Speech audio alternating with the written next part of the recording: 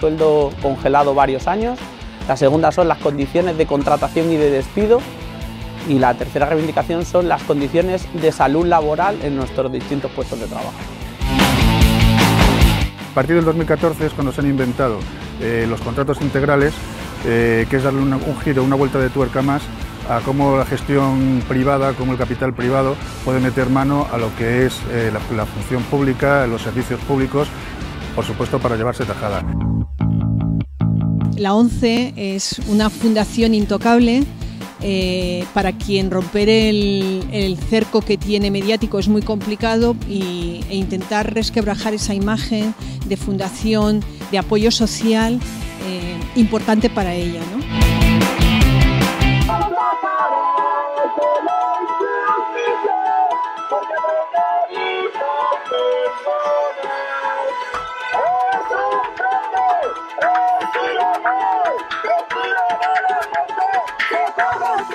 Las tres grandes reivindicaciones son una, la mejora salarial, ya que llevamos con el sueldo congelado varios años.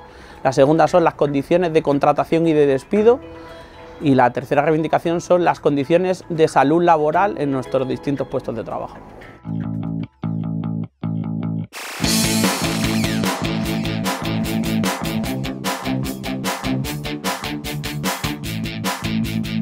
Nosotros trabajamos en recepción y emisión de llamadas. Emisión de llamadas, tratamos de captar a clientes para colocar un producto determinado. Eh, a su vez damos todas las facilidades del caso, para ello hay comerciales en dispersos a nivel nacional que hacen las visitas. Una vez realizadas las visitas, ellos dan los informes respectivos y nosotros trabajamos a comisión. Esas ventas son a comisión.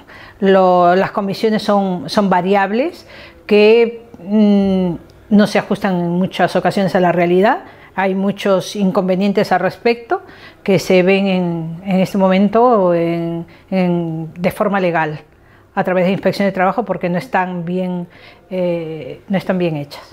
Básicamente eh, realizamos eh, una respuesta ante una llamada telefónica que nos viene impuesta por el cliente o por la propia empresa que llama al cliente y eh, en mi caso solucionamos incidencias técnicas, no, no es a nivel comercial, sino a nivel técnico. Los trabajadores afectados en este conflicto colectivo son todos los que pertenecen al convenio de Contact Center, que a nivel nacional, porque es un conflicto a nivel colectivo a nivel nacional, son varios cientos de miles de trabajadores, ya que trabajamos en subcontrata para un montón de empresas. Hay mucha temporalidad, hay mucha temporalidad, eh, quizás eh, podría ser un 70 o un 80%. Eh, los indefinidos, somos, en mi empresa somos pocos, yo creo que en términos generales debe ser pocos por el porcentaje que hay de temporalidad. los indefinidos estamos sujetos a que nos cambien los horarios de acuerdo al criterio de la empresa. En cuanto a, a los sueldos, pues la verdad es que mm, bastante mal pagados porque, eh, sobre todo por los tipos de contrato. Eh, hay contratos eh, por obra, que hay personas que no están cobrando las ocho horas, cobran solo cuatro o seis y en tramos de horarios muy que no les permiten conciliar su vida laboral y en general pues eh, ese es el gran problema que tiene el telemarketing y eso es lo que pretenden eh, la, patronal hacer, eh, dirigir los, los horarios en unos tramos en los que son en parte absurdo porque no le van a permitir al trabajador ni ir a casa ni conciliar, como digo, la vida laboral. A nivel salarial, la situación de los trabajadores de este sector es muy precaria porque se cobran unos sueldos muy bajos y luego no hay complementos prácticamente ninguno y los pocos complementos que hay muchas veces no se pagan, aunque la ley dice que hay que pagarlos, hay que andar denunciando a las distintas empresas del sector para obligarles a pagar. Incluso con sentencia judicial en mano hay que andar denunciando en inspección de trabajo para conseguir que cada trabajador cobre lo que dice el convenio que tiene que cobrar, que ya de por sí es muy poco. Los sueldos, los sueldos de, los trabajadores oscilan desde 600 euros, somos mileuristas. en otras palabras, o menos de mil euristas, porque el que tiene cinco horas gana un promedio de 600 porque ahí se prorratean ya las pagas extraordinarias, lo que quiere decir que su sueldo no es real, eh, y el que tiene seis horas 700 y el que tiene 8 900 y pico o mil y pico, pero por las pagas prorrateadas. Esto significa que nosotros no tenemos pagas ni de julio ni de agosto, sino son prorrateadas, o sea que si no, seríamos menos de mil euros. O sea, ganamos menos de mil euros, pero aún así sería mucho menor. En el caso de mi empresa, eh, sí que es directamente con la empresa matriz pero hay ciertas, eh, hay ciertas empresas que llegan hasta ver tres subcontratas para hacer un, servicio. Y bueno, y eso llega a ser absurdo, porque al final el trabajador es el que está perdiendo eh, el, el, dinero, es el, realmente el que hace el trabajo y se queda todo por medio, por tantas subcontratas.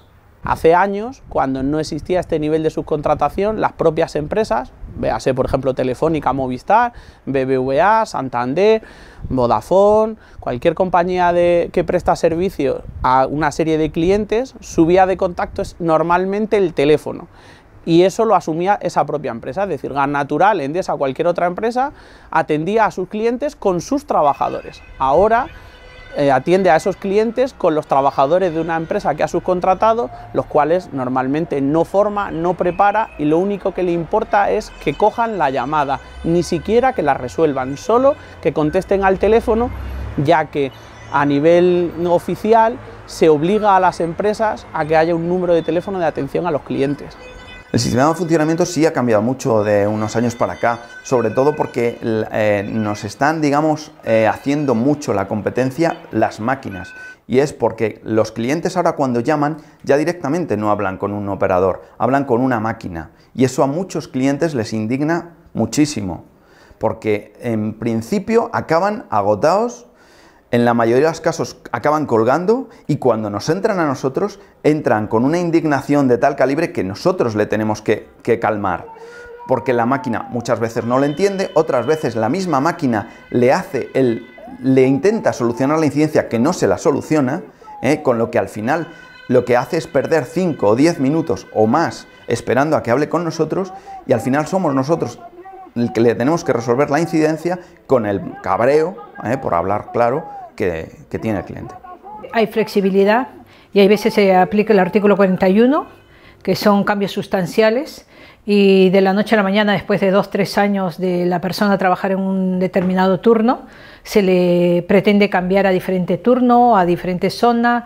Hay una serie de inconvenientes al respecto que eh, ahí se tiene que eh, denunciar se tiene que denunciar lamentablemente porque no hay acuerdo en su mayoría con las empresas o con los departamentos de recursos humanos, aunque después Inspección de Trabajo o el departamento jurídico nos dé la razón, pero es un mal trago que hay que pasar. Señorita María. Sí, sí, soy yo. Dígame. Hoy no hay muchas llamadas, así que vete a tu casa. Me está saliendo muy cara.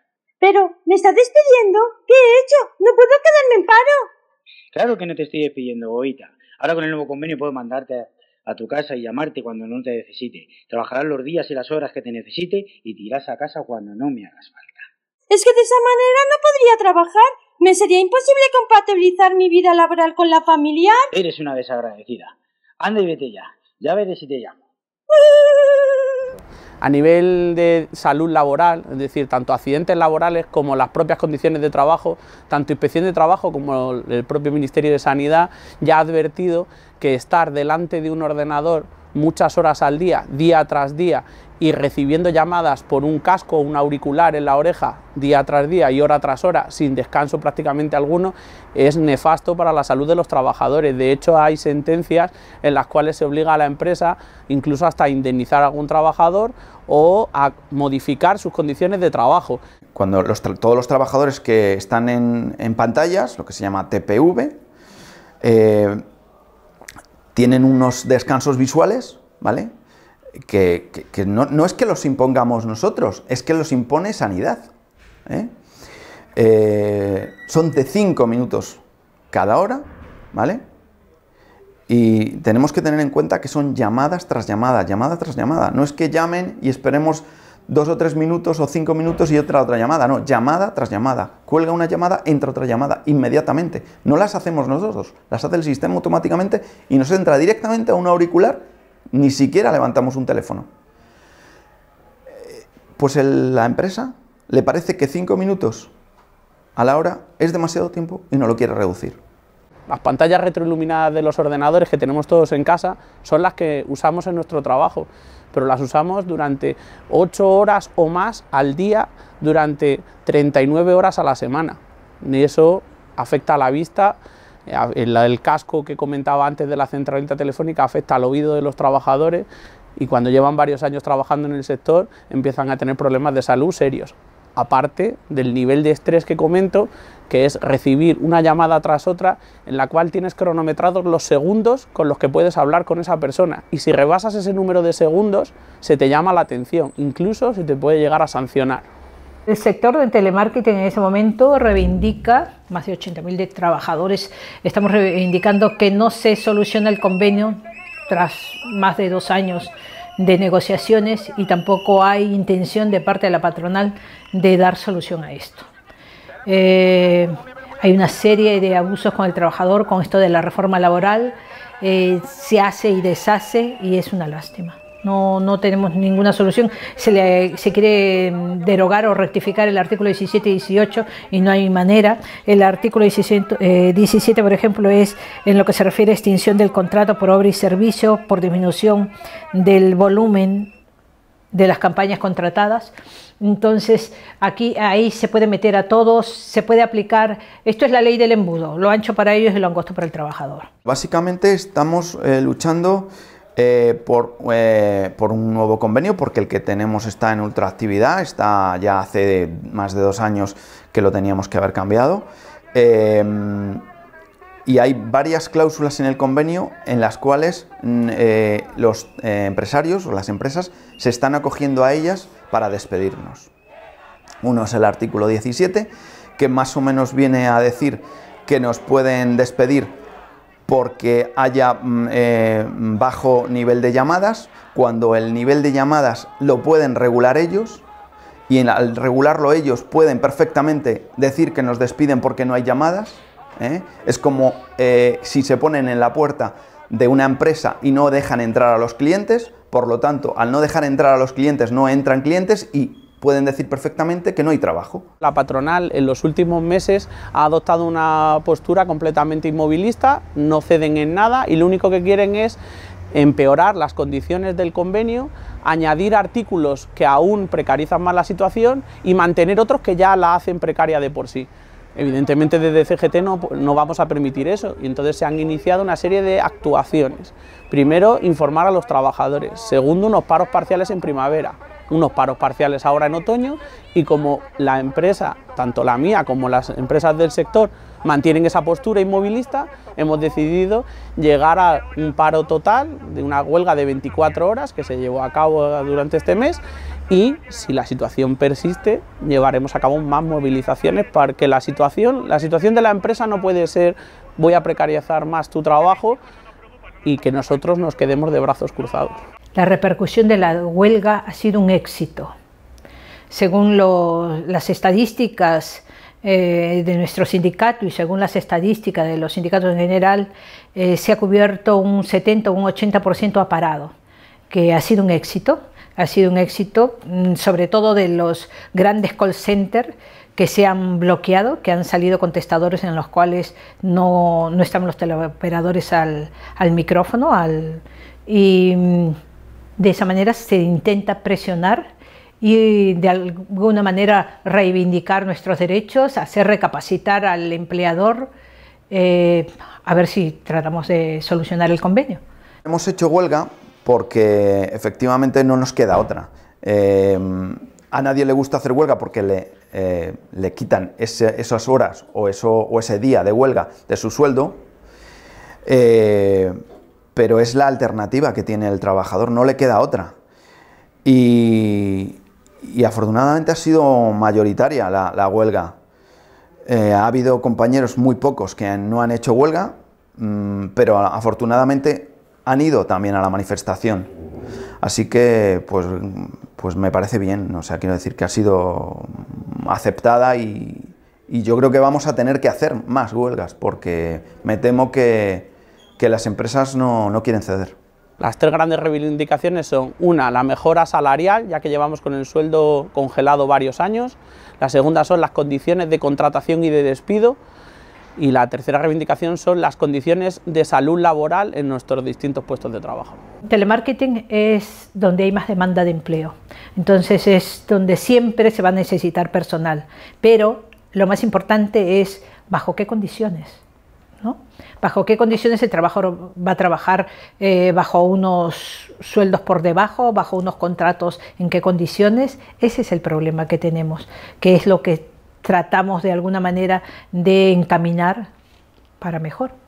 Los trabajadores de telemarketing lo único que tienen que hacer es seguir trabajando como lo están haciendo en el teléfono, ¿eh? en el auricular, como lo están haciendo, porque son buenos trabajadores, saben hacerlo, eh, tienen buen trato al cliente y lo que tienen que hacer es mm, seguir reivindicando sus derechos y si es necesario hacer huelga y las empresas eh, oír lo que tienen que decir los trabajadores, que no están haciendo en ningún caso nada ilegal y no están haciendo mal su trabajo. Por lo tanto, en vez de ganar tanto dinero eh, ellas por detrás con las campañas, que paguen un poquito más a los trabajadores.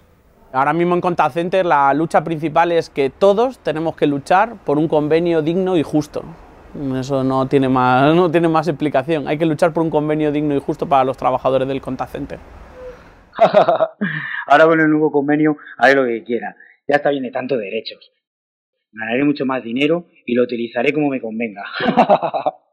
Compañeros y compañeras, tenemos que luchar por un convenio justo y defender nuestros derechos. Otro convenio es posible y tú tienes mucho que decir. Todos unidos podremos conseguirlo. La ONCE es una fundación intocable. Eh, para quien romper el, cerco que tiene mediático es muy complicado y, e intentar resquebrajar esa imagen de fundación, de apoyo social, eh, importante para ella.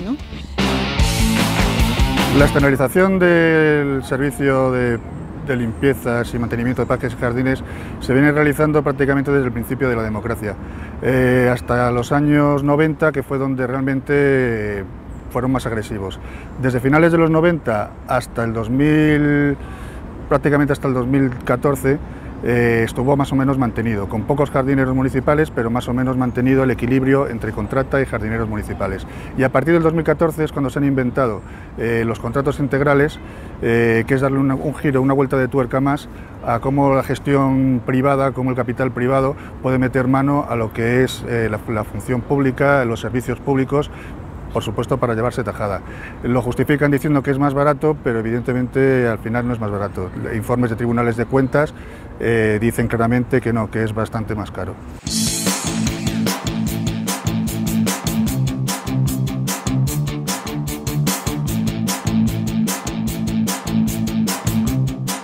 Se hizo porque se suponía que era más barato, claro, es más barato porque van a la baja.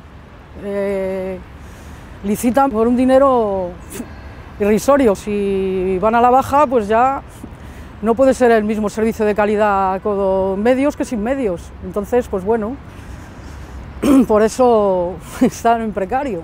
Esto es una mentira que, está muy bien eh, empaquetada a la hora de trasladarla a la opinión pública y que mm, una parte muy generalizada de, la sociedad eh, se ha creído o lo ve como algo real, pero es todo lo contrario. La gestión directa es más eficiente, más eficaz y más barata.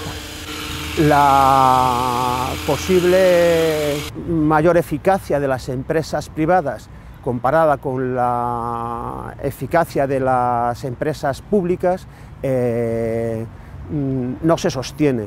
Tú cuando pagas una empresa privada eh, una parte del dinero que tú aportas a esa empresa para hacer ese servicio tiene que ir a los beneficios de los accionistas. Eso no se da en la empresa pública. Eso para empezar. Eh, como la tendencia de la empresa es a conseguir cada vez mayor beneficio, las condiciones de trabajo eh, están encaminadas cada vez a una mayor productividad de, beneficios, no de servicios de la, comunidad. Se ve perfectamente aquí en, Madrid.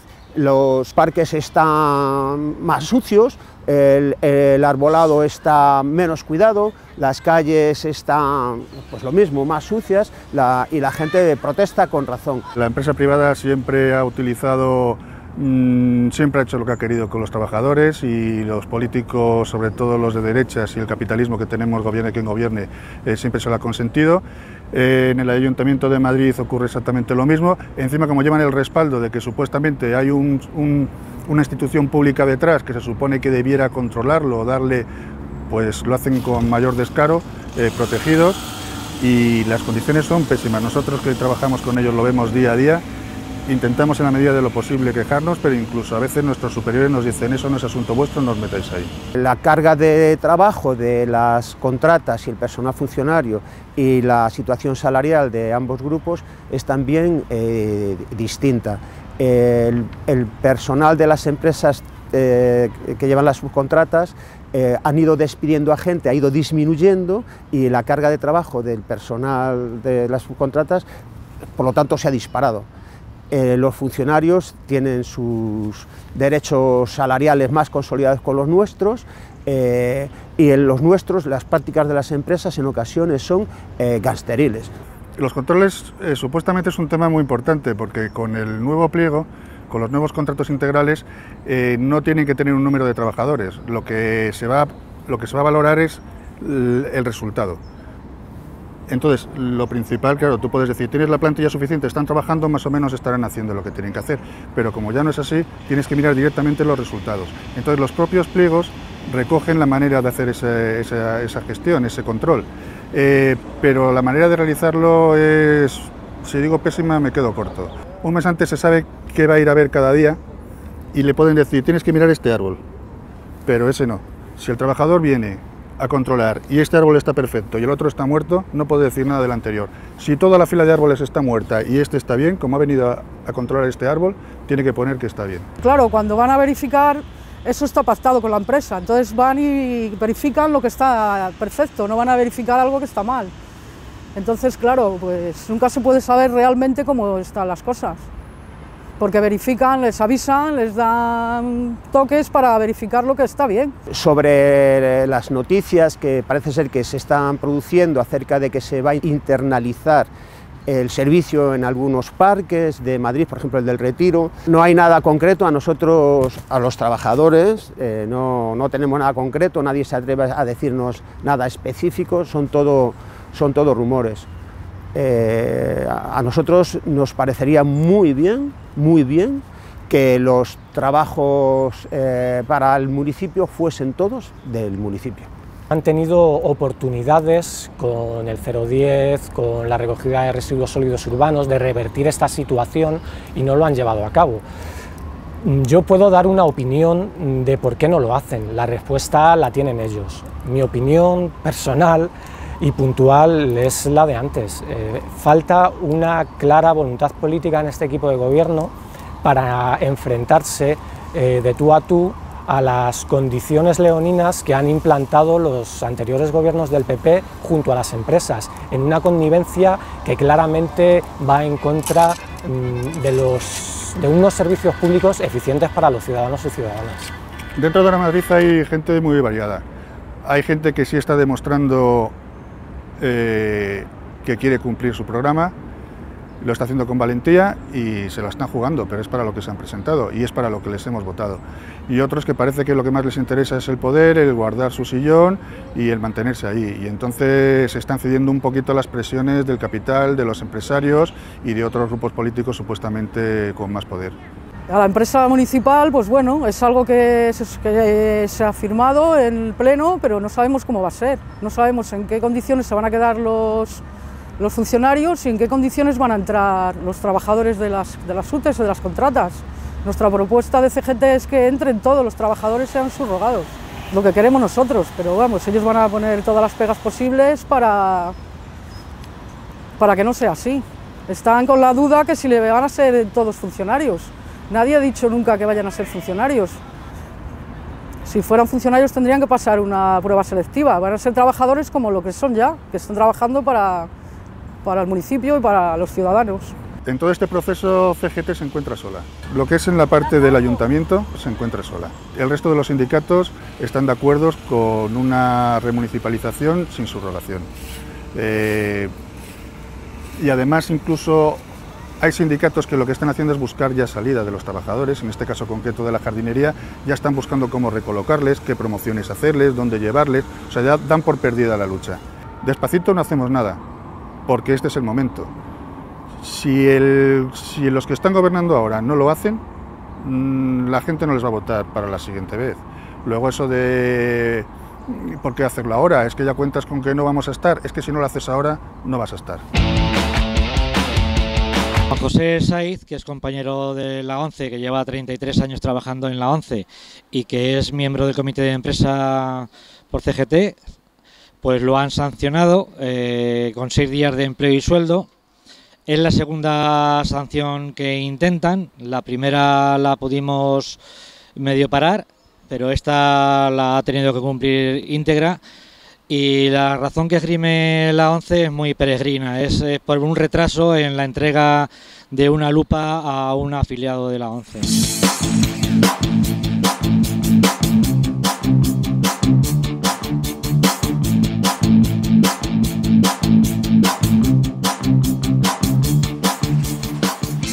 La ONCE es una fundación intocable.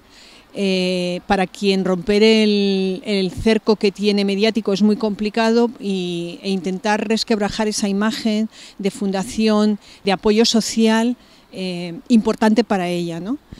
El, el ataque que están recibiendo los compañeros y las compañeras de CGT de la ONCE es permanente. Juanjo mm, es uno más en un eslabón. Eh, son muchas las ocasiones en las que vemos a los compañeros por aquí haciendo pliegos de descargos por sanciones de toda índole. Y, en esa tesitura, pues mm, hay que intentar de todas las maneras posibles buscar las estrategias, y lo hacen muy bien, la sección sindical que rompan ese cerco mediático y, tratar de hacer llegar a la población cómo es de verdad la ONCE. ¿no? Juan José es el encargado de la tienda y por tanto es el que recoge los, artículos que se compran y que se venden en la misma y los que hay que mandar a reparar. Entonces eh, creemos que es totalmente desorbitado y, y justa la sanción y que en ella se esconden pues eh, temas políticos, bueno, temas sindicales, meramente sindicales.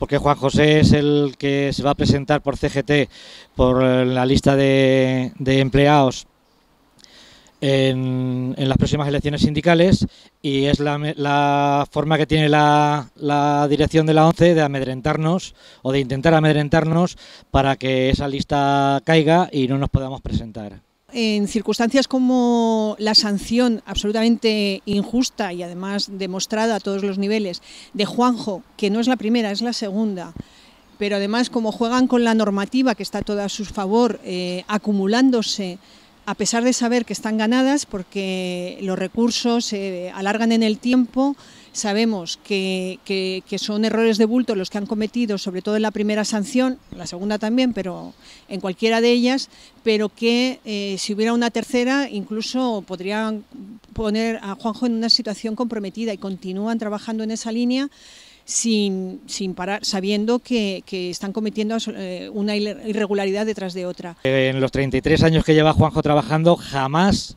y digo jamás, había sido ni siquiera percibido de ninguna falta.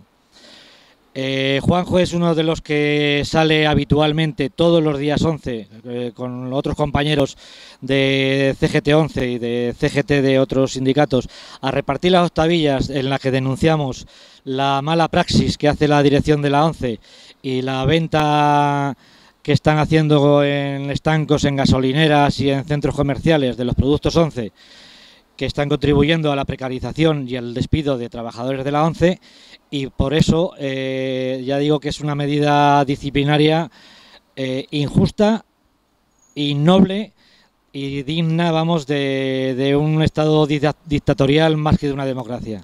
Pensamos que la mejor manera de presionar y eh, hacer saber a la ONCE que los compañeros de CGT que trabajan allí no están solas y que estamos dispuestos a poner toda la carne en el asador era hacer mucho ruido en la misma puerta, porque es el sitio donde más daño vamos a hacerles. Y allí estuvimos eh, el lunes y martes de la pasada semana Em, haciendo una manifestación de una hora explicando qué es lo que estaba ocurriendo, no solo a, los compañeros y compañeras de la ONCE, también a los afiliados y afiliadas, a, sus, a, las personas que forman la, ONCE en general y al entorno muy llamativo de, esta ciudad, donde pasa muchísima gente y, donde pensamos que más daño se les puede hacer, para demostrarles que no van a estar solos en ningún lugar, ni Juanjo ni el resto de, de compañeros.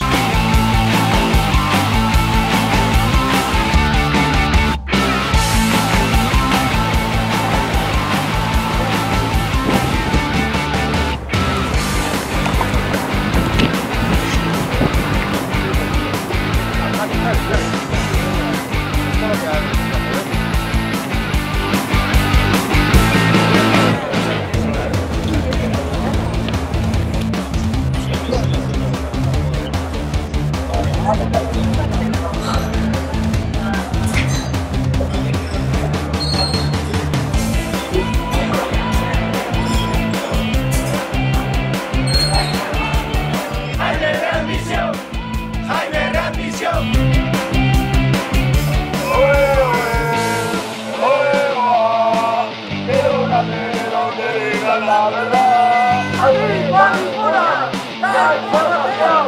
el